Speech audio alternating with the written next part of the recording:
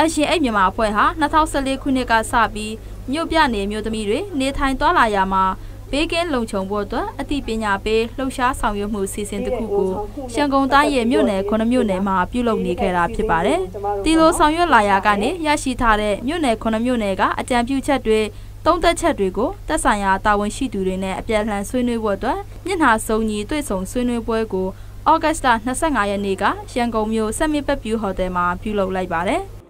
မြို့နယ်ခုနှစ်မြို့နယ်စလုံးမှာရှိတဲ့အခြေအနေလေးတွေကိုပုံပွင့်လင်းလင်းဒီမှာတင်ပြဆွေးနွေးပြနိုင်မှုရည်ရွယ်တယ်။ဒီပိုင်းနဲ့လက်ရှိမြို့ခံလူထုတွေပြည်သူတွေပတ်ချမ်းကနေလုံနိုင်တဲ့လောက်လုပ်တဲ့အနေအထားပေါ်မှာသက်ဆိုင်ရာတာဝန်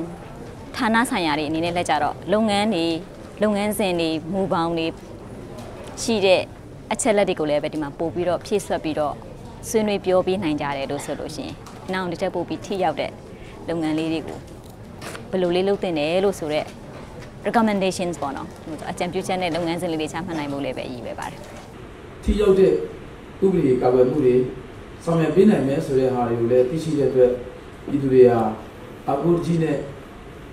တိုင်ကြားလာတာတွေလည်းရှိသလိုဒီလိုပဲမတိမတာနဲ့တိမ်မြုပ်ကြောက်ွယ်သွားတဲ့ညင်ပန်းနှိမ့်ဆက်မှုပေါင်းများစွာလည်းရှိတယ် တီဆွေးနွေးပွဲမှာတော့အမျိုးသမီးနဲ့ကလေးငယ်တွေအကြမ်းဖက်ခံရလို့တွားရောက်တိုင်တန်းတဲ့အခါမှာကြုံတွေ့ရတဲ့အခက်အခဲတွေအမှုရင်ဆိုင်ရတဲ့အခါအချိန်ကြာမြင့်တာတွေလမ်းမီးမရှိလို့တွားလာရမှာစိုးရိမ်ရတဲ့အခြေအနေတွေပါဝင်မူရစေဝါပြဿနာနဲ့အုပ်စုဖွဲ့လူရဲမှုများလာတာပီယာဆိုင်များလာတာစတာတွေကိုအကြံပြုဆွေးနွေးသွားခဲ့ကြပါတယ်။များစုဟာအမျိုးသမီးတို့ရဲ့အခွင့်အရေးဆိုင်ရာကာကွယ်သည့်ဥပဒေရှိနေတွေကိုတွင်တွင်ကြဲကြဲမသိနေတဲ့အတွက်ကြောင့်မလို့ကိုယ့်ပေါ်မှာ ဒီလိုဟာလာကာမဆန္ဒရယူလို့စိတ်နဲ့ကျူးလွန်မှုတွေအပေါ်မှာဘလို့ဥပဒေရတုံ့ပြန်မယ်ဘလို့ဆောင်ရွက်ရမယ်ဆိုတာကိုမသိတဲ့အတွက်ကြောင့်မလို့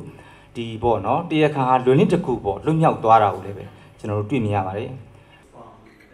တီလိုမြို့နယ်ခုနှစ်မြို့နယ်ကဒေသခံစေတနာဝန်ထမ်းတွေဆွေးနွေးသွားတဲ့အပေါ်မှာအထွေထွေအုပ်ချုပ်ရေးမှူးရုံးကတာဝန်ရှိသူတွေစီပင်တာယာရေးကော်မတီမှတာဝန်ရှိသူတွေလူမှုဝန်ထမ်းကက်ဆယ်ရေးနဲ့ပြည်내နေရာချထားရေးဝန်ကြီးဌာနမှတာဝန်ရှိသူတွေက သူတို့အနေနဲ့ဘယ်လိုလှုပ်ဆောင်ပေးနိုင်မယ်ဆိုတာကိုအကြံပြုချက်တွေနဲ့ပြည်သူတွေဘက်ကပူးပေါင်းရမယ့်အပိုင်းတွေကိုလည်းပြန်လည်ဆွေးနွေးခဲ့ကြပါတယ်။